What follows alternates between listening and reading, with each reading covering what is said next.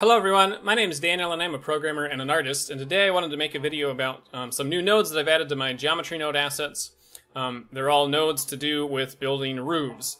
Um, several months ago when I first released my the build nodes for my geometry node assets, I had tried to make a roof generator and hadn't been happy with any of the results because with all of my nodes, I want them to make sort of generic things, but give you a lot of flexibility in how you can style it. And while it's not too hard to make a roof generator that makes a particular style, um, I was having trouble coming up with something that was generic enough, but could also um, make a detailed enough roof that it was interesting, if that makes sense. Also, the problem of what kind of input is fed into the roof generator that the roof is generated from was a big challenge, and I tried a number of different things that I wasn't happy with. Um, if you have, if you draw like a face or a plane, some flat surface that you're building the roof on, it's like how do you decide where the ridge lines are and what direction they run? Um, if you try to use curves to define like a ridge line, then it's hard to edit like the size of it and how do you make sure that the edges of the roof like reach properly to the walls that they're over, things like that. Anyway, long story short, when I re- first released the build nodes, I hadn't come up with anything that I thought was worth releasing as far as making roofs. And so, of course, there were a lot of comments asking about roofs. Um, and my response to all of those comments was basically, well, it's kind of hard. But um, anyway, so a few weeks ago, I started experimenting with some node groups, um, trying to make one that could add like loop cuts, like subdivide a mesh only in one direction. And I got some interesting results from that, but it doesn't work well with n-gons and triangles. It gets really messy and just breaks. So I haven't really finished anything with that yet. Um, but it was kind of interesting. And then last week, someone asked again about the roofs, and I had this idea. I was like, I wonder if you could use that subdivision idea as a way of finding the ridge lines. So I started experimenting with the roof generation idea again and ended up coming up with a way of creating a base mesh that was um, I thought was pretty powerful. But then I quickly ran into the problem of um, I had this node group that was a mile long. Like you literally could scroll two pages on the modifier panel and to have to see all the settings. And I really didn't like that because on the one hand, I wanted the roof generator to be generic and to have all of these options so that you could configure it to make whatever kind of roof you wanted to make. But on the other hand, um, when you have that many settings, it's so hard to find the one you want to change to make the roof you want that the start, the node starts to become unusable. Um, but then I came up with an, another idea of a way to make the r- build roof node modular, where it was split into multiple modifiers, and you could like stack them on top of each other, to where you can use the build roof modifier to sort of model your base mesh roof, and then you can add all of these details, whatever details you want, onto it with sort of this extendable um, roof modifier system. So that's sort of how I got to this point where I have these nodes here. So I want to go through and show you what they all do and um, talk about how I think you could use them.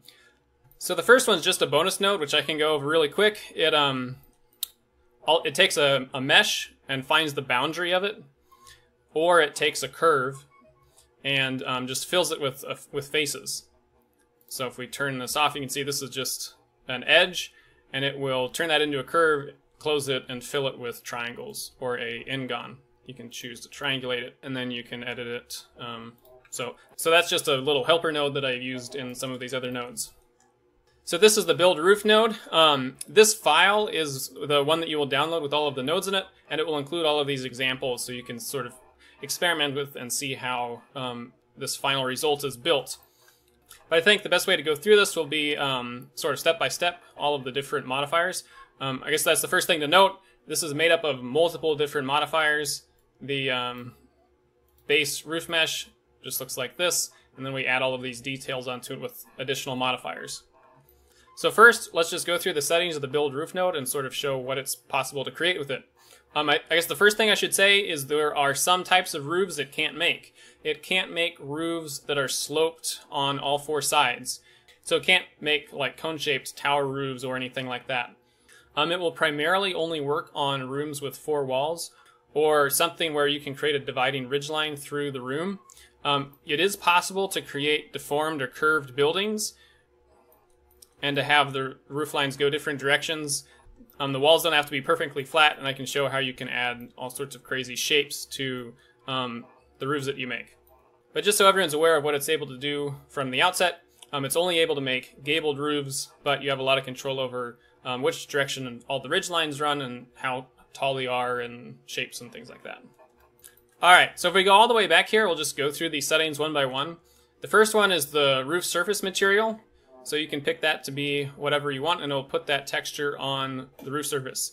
The UVs on the roof are all generated and um, from the bottom edge of the roof to the ridge line is the y-axis and along the roof is the x-axis.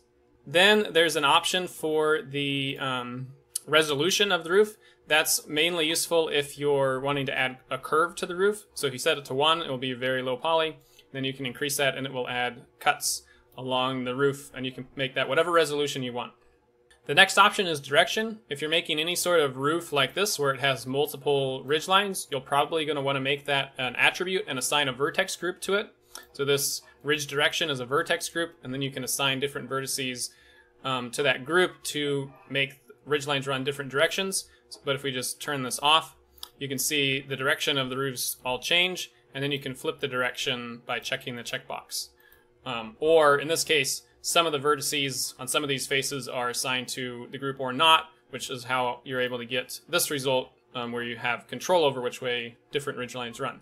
By default, when you check this direction checkbox, you're choosing whether you subdivide the short edges of a rectangle or the long edges of a rectangle. So one thing to note about that is if you change the aspect ratio of the rectangle, then the direction of the ridge line switches. Then there's two sliders that control the height. Um, they both basically do the same thing. The reason there's two of them is you will likely want to assign one of them to a vertex group, or you might want to do that. That's how you can get this result here.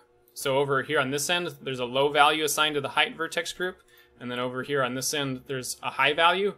But with this roof, we're still able to scale the overall height, with, which is why there's two controls for height. So the idea is that one of those would be an attribute and the other one is a slider so you can adjust it um, in the modifier. Then the next control is overhang. If you have that set to zero, then the roof will start exactly on top of the edge of the face that it was created from, um, which should match your walls. And if you increase the overhang, then it will extend beyond, but where it passes over the wall should stay close. Um, look like it's a little higher than I would have liked there. I might have to look into that again, but um, yeah, I was trying to minimize how many gaps there would be between things. The next slider is shape, and it affects the curve of the roof. Um, so if you have it set to 0.5, it will be a perfectly straight line. If you decrease it, it will curve concave, and if you increase it, it will curve convex. Then the next setting is solidify, and if you check that, it will add some thickness to the roof. Um, and you can choose a material to go on the back faces of the roof. And then the thickness slider affects how um, how thick that solidify is. Then the next option is a gable wall object. Um, within the node group, that's using build walls to place walls on at the ends of the gables. Um, and you can see those. This is an example of what that object might look like. It can be whatever you want, um, but it should mostly have details running along one axis, uh, along the x-axis actually. So if we choose that object, then you can see we get walls um, in the ends of our gables, all with correct UVs and trimmed and everything. All right, so then all there is is you can name your UV map. Um, that should be able to stay. I set the default to UV map, so you should just be able to leave that alone. And then if you want to scale your UVs, um, you can scale the UVs. Then, probably the most important option is this output curves. If all you want is a low poly roof, you could be done with this, but if you want to add further details to it, you want to check this output curves option. Um, if we turn off wireframe here, you can see that adds curves and other things to the output geometry that you can then use in additional modifiers. So the basic idea is you can create a new geometry node setup, and you could name that like my roof modifier, something like that. And then in the geometry node assets, there's this build roof utility modifier, um, or node group rather. It's not really a modifier. And the idea is you can drag that into your own node group and connect it to the input geometry, and it will give you access to all the different parts of the roof. So you can get the curves, you can look at the roof surface or the gable walls. Um, you can get only like the rim of the solidify. You can get the curves that go along the ridge lines curves that go along the gable edges of the roofs. You can get curves for the lower edges. Um, so it's essentially a separate geometry node specifically for this roof base mesh. And then what you can do with that is you can create additional modifiers to detail your roof in ways that you might want to. So I created four of those that come with the build roof node, and those are the edge array, edge beams, surface array, and surface scatter nodes. Um, and they're sort of examples of what you could do with it. And then with the build roof utility node, you could create more with your if you had your own ideas of what you wanted to do with this roof geometry. So just to sort of show what some of those are, um, here we have a, a, a build roof edge array. It allows you to select which edges you want to use, and then it arrays an object along that edge. So here I have this gutter mesh. Um, it just arrays it along the curve, and here I've selected I want the bottom edges curve, um, but you could also put it on the gables and the ridge line if you wanted to do that. Doesn't make sense for the gutter though. So all you have for options on that are you can choose what object you want to array, and then you can choose a spacing between the instances if you want, and you can add some randomness to it um, if you want to add some character. And then all of these build roof sort of add-ons also have the output curves option. So all that means is on all of these modifiers, when I get to the end of the modifier, when I'm, I'm done creating whatever geometry I want, I take the mesh of the input geometry and I join it back into the result. And then depending on if you check this output curves option, it will either include or not include the original curves. Um, so whenever you get to the last modifier in the stack, you can turn that off and get like the final results. If you want to add additional details, you can keep it checked and you have that extra information about where edges are and stuff. So then I have another edge array. This one puts sort of this fence along the ridge line exactly the same as the gutters basically. And then I have another node which allows you to add beams, which basically just does like a square curve solidify on um, any of these curves. So here, and assign a material to it. So here I have these wooden beam details on the ends of the gable edges. So just to sort of have them terminate nicely and not look quite so low poly. Um, and again, you can put that on any of the edges that you want to. That is a few additional options. You can choose to extend the curves if you want. Um, that only extends the gable curves. It doesn't. I didn't think it made sense to extend the other ones.